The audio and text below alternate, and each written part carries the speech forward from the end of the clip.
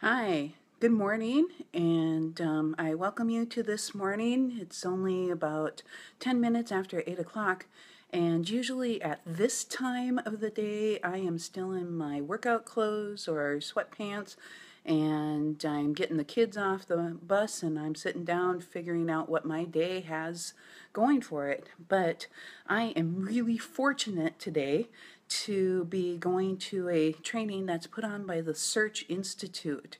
And the Search Institute's located down here in Minneapolis, Minnesota, and they do research on the 40 developmental assets. Those 40 developmental assets are ones that help youth and bring youth into the community and really what does our youth need to survive and to thrive within our communities. So I'm really excited to go to this three day training and I really want to tell people about this training because it is dealing with what they call the REACH process. And REACH is an acronym for relationships, effort, aspiration, cognition, and heart.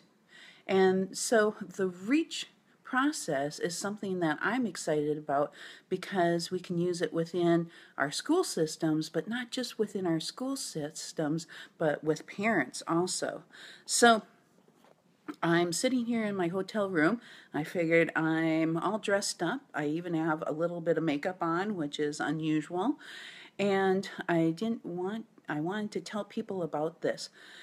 The REACH process starts out with relationships. So, how do you build relationships with youth? And then um, having youth be building relationships with their community.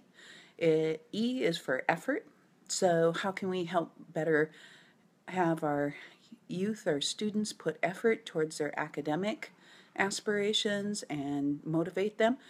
Then, the A is for aspirations aspiration is what they aspire to do and lots of times kids have like big dreams students have big dreams. I have big dreams but i'm not sure how to reach those big dreams how to reach those goals.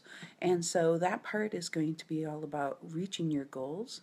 Cognition is about the brain science so how can we better have strategies that can help our students and help youth use their brain and look at the brain science behind learning.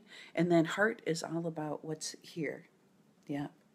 Those things that kids can get really excited about, those things that you as an adult get really excited about, how you can share those with kids, how can you share that with the youth within your community.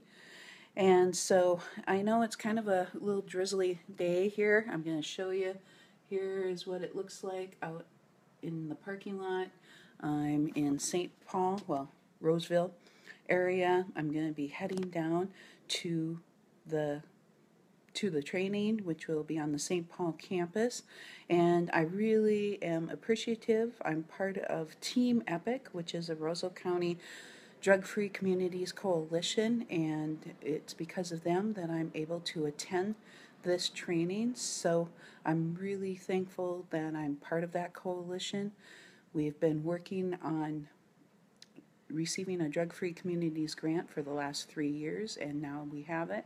And we want to use these 40 developmental assets to really build up our youth in our community so that they know that there's relationships out there, that what they aspire to be or to do is important, and that there's adults around them that is willing to and want to not just willing, but really want to see them succeed and be part of our community. So, uh, thanks for listening for this. And if you want more information about the REACH process, I'm going to be talking more about it in the next three days. Uh, and also below, if you go to the link below here, the post below this one, I placed a link there about the REACH process and if you want to read more about it. So I'm super excited to get out there and find out more about it and share it with you and the parents that are on the Wildewood Learning Facebook page. So I hope you guys all have an awesome day and I'll talk to you soon.